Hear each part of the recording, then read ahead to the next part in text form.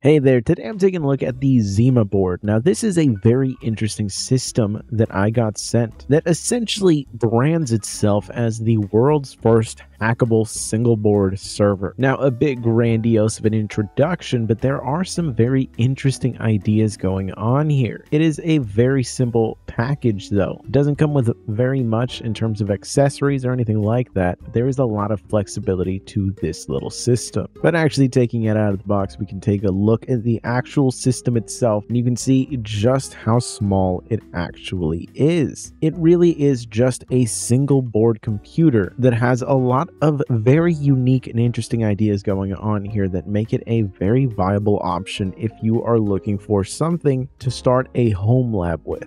Looking at the system itself, it is a very attractive design. You can see here in the side, one of the key features is the fact that it actually has a PCIe 4X slot. We get the two Ethernet ports, we do get some USBs, and in the back we do also get some SATA ports. In general, it is a very nice package. One of the key features of the system itself, though, is that it actually comes with a custom OS called CasaOS. And really, this actually interested me a lot. And we'll jump in to look at that right now. So immediately you can see here that CasaOS's web UI is actually a extremely well made one here. You can see that there is a wide assortment of apps available and they are extremely easy to install. Now this is the 8 gigabyte version of the system that is the 832 model. In general, I think it's the one to go with. I really wouldn't go with any of the lower tiers just because you really compromise a lot in terms of the CPU and more specifically the RAM. Now the store that we have access to here doesn't have everything you could possibly imagine, but it does have a wide assortment of stuff and a lot of the most popular things that you more than likely are going to be looking to use if you're just starting out, if you're just trying to see if you're into the idea of hosting your own home lab, if you're into self hosting, this is going to be an excellent starting point. But I think that what people are missing is really the key feature of the system itself. CasaOS is, of course, very functional, and if you're just looking to learn how to do things, you're going to have more than enough headroom to start to learn, start to practice, start to really get down a lot of these systems, and you can get really creative here, especially since we do have a lot of expandability. But as you use the system, system, you start to realize that there are certain sacrifices that are made due to the fact that this is still an early gen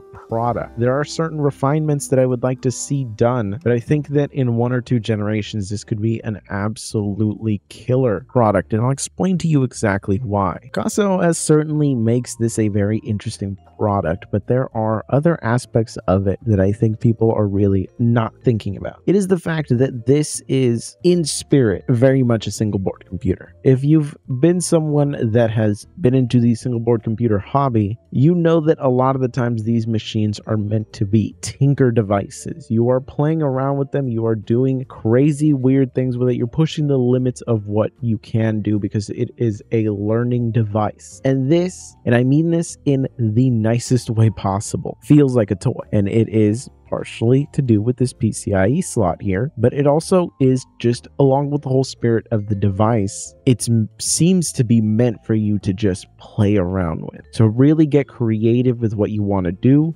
Specifically, if you're looking to test out different services, the expandability is janky. If you want to put in a SSD, a hard drive, or anything like that, it's really all just put together in a way that doesn't feel perfect to use, but it feels like a tinkerer's device. If you're somebody that likes to just play around with things, you get enough expandability that you can get creative with what you want to test out. But there are certain limitations in the hardware that kind of keep this from being the perfect solution to things. Specifically, what I mean is that PCIe slot. Again, I keep saying it is great in terms of expandability, but you are limited to PCIe Gen 2.0 at 4x speed. So, not exactly the fastest slot. If you want a server, you can use something like the GMKtec G1 here. It will do a lot of the similar capabilities of this. You get a faster, newer CPU, and it's actually cheaper overall for the same amount of RAM.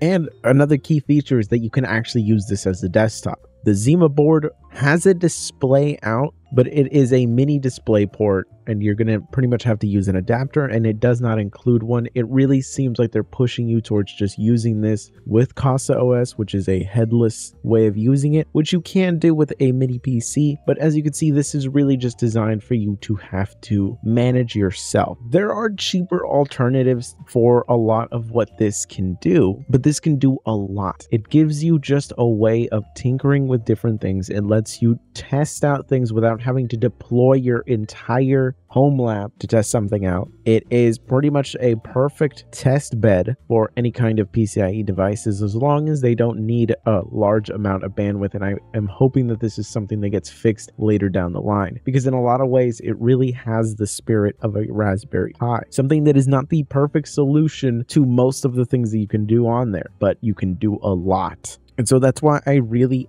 like the ZimaBoard. It has that tinker energy to it where it's really just meant for you to just do whatever you want with it. I would like better documentation, especially in terms of the hardware that is in there. I really wish they would take a true approach to this whole hackability thing. It really seems to be a little bit more of a gimmick than anything else, but it does seem to have that home labber spirit to it. And I really like the device. And I think that even if you already have a system system set up yourself, a home lab going, having one of these around can be really nice just in terms of testing out new things where you don't need to shut everything else down or just do some drastic changes. In general, it really just seems like a fun toy to use, and I don't mean that in an offensive way. I'm not saying that it isn't capable of fulfilling the needs that you want, but I think that there is more to it than just a cheap universal solution to a lot of people's needs.